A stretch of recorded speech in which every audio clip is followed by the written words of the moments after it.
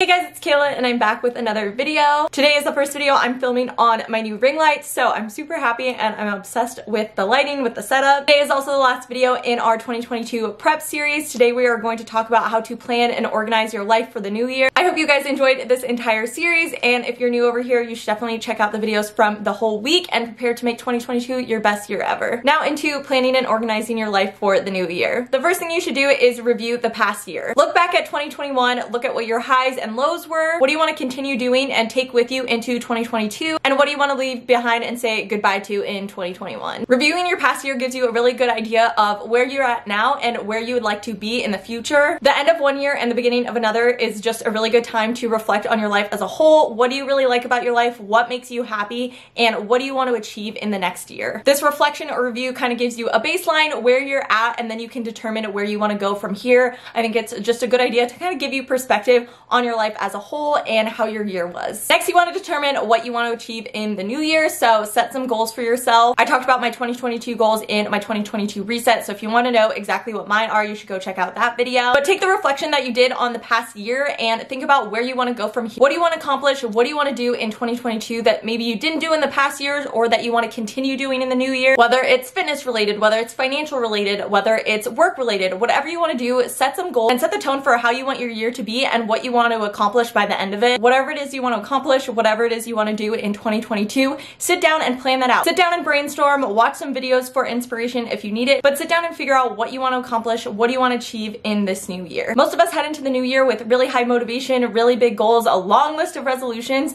so also try and make it realistic to yourself and what you actually want to accomplish throughout the whole year. Next, you should create a vision board. I always make mine digitally and set it as my laptop wallpaper, but you can also do it the old-fashioned paper way. Whatever is going to help motivate you most really is what you should do. Collect a bunch of pictures and try and relate them to your 2022 goals, what you want to accomplish. Put all the goals that you have into pictures, visualize what you want your life to look like, and put that on your vision board. I always make mine digitally and put it as my laptop wallpaper because that's what I open and look at every single day. I wouldn't always take the time to look at a vision board, but I work on my computer every day, so I'm guaranteed to see it this way, and every time I open my computer, every time I close it, it's there. Our subconscious is always working in the background, so even though you might not totally pay attention to it every day, having it right in front of your face and seeing it in some way, shape, or form every day is really going to make a difference, help you visualize your goals and your dream life into reality. The next thing you should do is set up a planner or some kind of planning system. Not everyone likes pen and paper for their planning. A lot of people like doing it digitally nowadays, so you need to figure out what system is gonna work best for you. There's really no one good set way on how to plan your life. It's really whatever works best for you. For me, that is a paper planner that I write in every single day. I swear by my day designer I've talked about it so much this week, but I truly live and breathe in that thing. I always get mine from Target. It has a schedule, it has a to-do list, it has a note section, it has everything that I need to plan out my life. But if pen and paper doesn't work for you, don't force yourself to use it just because that's what everyone else is doing. If using Google Calendar and digitally planning your life is what keeps you on track and keeps you organized, do that instead. I feel like I've really figured out what planning systems work best for me, but you need to figure that out for you. Try out a few different things. Watch YouTube videos, look on Pinterest for inspiration if you are struggling, but there are so many different ways out there and you really just need to kind of trial and error things until you find what works best for you. Number five is to create a budget. This is not something I did this year because I already have a budget and I feel like it works for me pretty well, but if you don't have a budget, the new year is a great time to get your finances in order. Look at what you're spending now and how you would like to spend in the new year and set a budget to yourself that's going to work for you. You have to make it realistic. You can't just say save a million dollars when you make a hundred thousand dollars. Like that's not realistic at all. So try and set a budget and financial goals that are realistic to what you make. My budget will probably look a little different than yours. It's going to look different than an engineer, someone who works for themselves full time.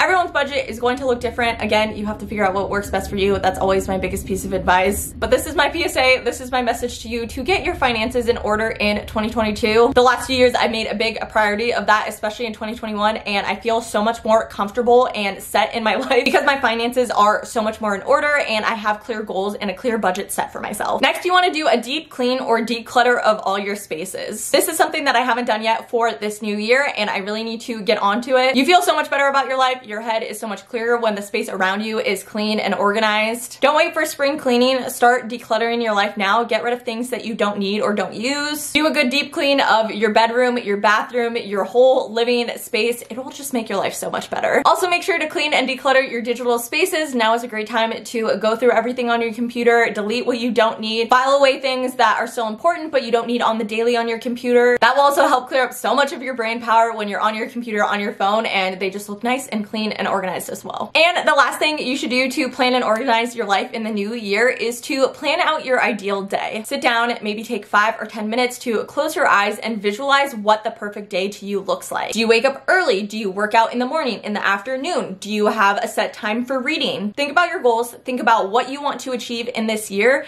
and see how you can incorporate those things into your daily life. Take some time to write out what your ideal day looks like, whatever that is for you. What do you do? Who do you see? Where do you hang out? And then try and put that ideal day into action every day this new year. If every single day you are living to this ideal day in your head, your life will be so much better and you will feel more like your true self. When you do the things every day that make you happy, bring you joy, that make you feel most like yourself, you're gonna have such a happier life, such a happier year if you live that ideal day every single day. Obviously, you can't put this into practice every single day. Some days are just way too chaotic, crazy, life happens, shit is gonna hit you. But the more you try and live as your ideal self, as your true self every single day, your life is going to be so much better and you're really going to have the best 2022 you can. Well, that is it for this video. I hope this helps you plan and organize your life for the new year. And I hope this whole series helped you plan for 2022 and you're ready to make it your best year ever. If you like this video, please don't forget to give it a thumbs up and leave any comments down below. That really supports my channel and helps my channel grow. And if you're new to my channel, you should definitely stick around and subscribe and go back and watch the whole week of videos. Thank you so much for watching this video. I hope you enjoyed it and I will see you guys in my next one.